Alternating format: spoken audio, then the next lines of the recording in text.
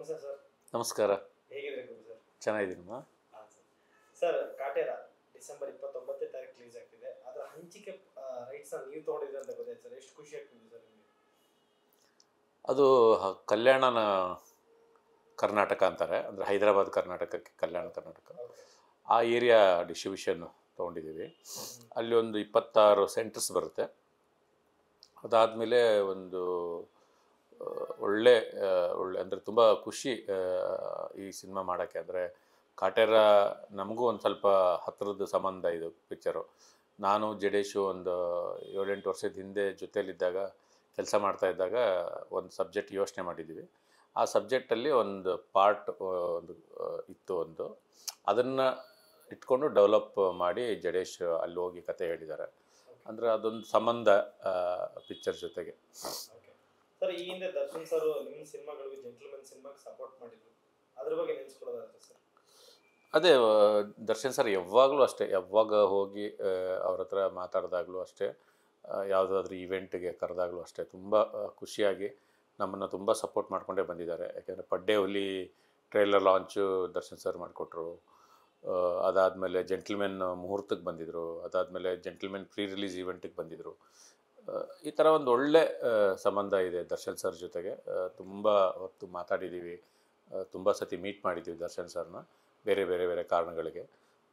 ತುಂಬ ಹಾರ್ಟ್ಲಿ ಅಂತೂ ತುಂಬ ತುಂಬ ಒಳ್ಳೆ ಮನುಷ್ಯ ಅವರು. ಅಷ್ಟೇ ಮಾಸು ಭಯಂಕರ ಫ್ಯಾನ್ ಫಾಲೋವರ್ಸ್ ಇದ್ದಾರೆ ಅವ್ರಿಗೆ.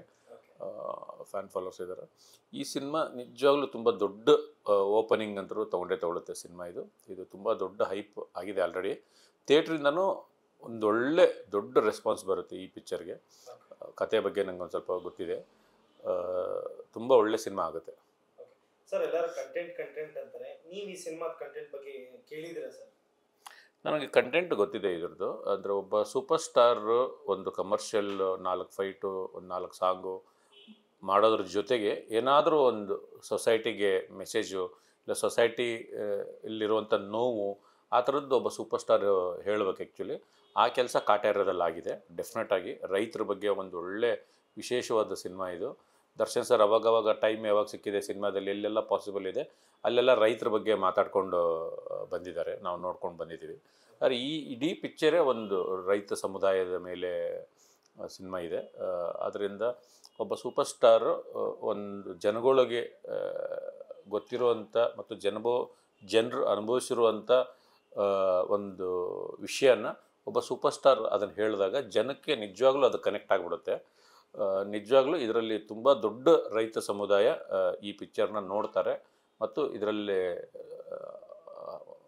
ಏನು ತರುಣ್ ಅವರು, ಜಡೇಶ್ ಅವರು ಮಾಡಿರೋ ಕತೆ ನಿಜವಾಗ್ಲೂ ವರ್ತ್ಫುಲ್ ಆಗಿರುತ್ತೆ ಅಂತ ನಂಗೆ ಅನಿಸ್ತಾ ಇದೆ ಸರ್ ನೀವು ಹಂಚಿಕೆದಾರಾಗಿ ಅಲ್ಲಿ ಅಲ್ಲಿರೋ ಕ್ರೇಜ್ ಕ್ರೇಜ್ಗಳಿಗೆ ನೀವೇನಂತೀರಾ ಸರ್? ಅಲ್ಲಿ ಕ್ರೇಜಸ್ ಇದೆಯಾ ಸರ್ ದರ್ಶನ್ ಸರ್ಗೆ? ತುಂಬ ಕ್ರೇಜ್ ಇದೆ. ಆ ಕಡೆ ಉತ್ತರ ಕರ್ನಾಟಕದ ಭಾಗದಲ್ಲಿ ದರ್ಶನ್ ಸರ್ಗೆ ತುಂಬ ದೊಡ್ಡ ಫ್ಯಾನ್ ಫಾಲೋವರ್ಸ್ ಇದ್ದಾರೆ ನಾವು ಆ ಕಡೆದವರೇ ಆಗಿರೋದ್ರಿಂದ ನಮ್ಗೆ ಗೊತ್ತದು.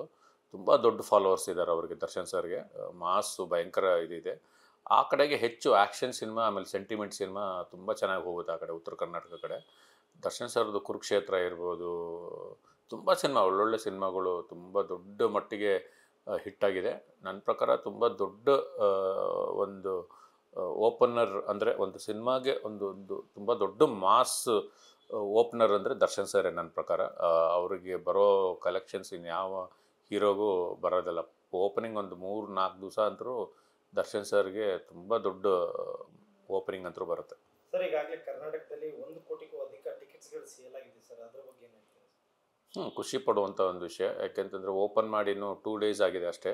ಟೂ ಡೇಸಲ್ಲಿ ಅಷ್ಟು ಟಿಕೆಟ್ ಸೇಲ್ ಆಗಿದೆ ಅಂದರೆ ತುಂಬ ದೊಡ್ಡ ಓಪನಿಂಗ್ ಅಂತೂ ಈ ಸಿನಿಮಾ ತೊಗೊಂಡೇ ತೊಗೊಳುತ್ತೆ. ನಮ್ಮ ಕಡೆನೂ ನಾವು ನಾಳೆಯಿಂದ ಓಪನ್ ಮಾಡ್ತಾ ಇದ್ದೀವಿ ತುಂಬ ದೊಡ್ಡ ಕ್ರೇಜ್ ಇದೆ. ಆಲ್ರೆಡಿ ಪೋಸ್ಟ್ರುಗಳಿಗೆ ಕಟೌಟ್ಗಳಿಗೆ ಹೂವು ಹಾಕಿ ಹಾರ ಹಾಕಿ ಈ ಥರ ಎಲ್ಲ ದೊಡ್ಡದಾಗಿ ಸೆಲೆಬ್ರೇಷನ್ ಮಾಡ್ತಾ ಇದ್ದಾರೆ ದರ್ಶನ್ ಸರ್ ಫ್ಯಾನ್ಸು ಬಂಟಿಂಗ್ ಹಾಕಿ, ಆಮೇಲೆ ಬ್ಯಾನರ್ಗಳನ್ನೆಲ್ಲ ಕಟ್ಟಿ ತುಂಬ ದೊಡ್ಡ ಮಟ್ಟಿಗೆ ಮಾಡ್ತಾ ಇದ್ದಾರೆ. ನಾವೊಂದು ಮೂರ್ನಾಲ್ಕು ಸೆಂಟ್ರು ಥಿಯೇಟ್ರ್ ಮುಂದೆ ಕಟೌಟ್ ಎಲ್ಲ ನಿಲ್ಲಿಸಿದ್ದೀವಿ ತುಂಬ ದೊಡ್ಡ ರೆಸ್ಪಾನ್ಸ್ ಅಂತೂ ಬರ್ತಾ ಇದೆ ಸಿನಿಮಾ ಮೇಲೆ.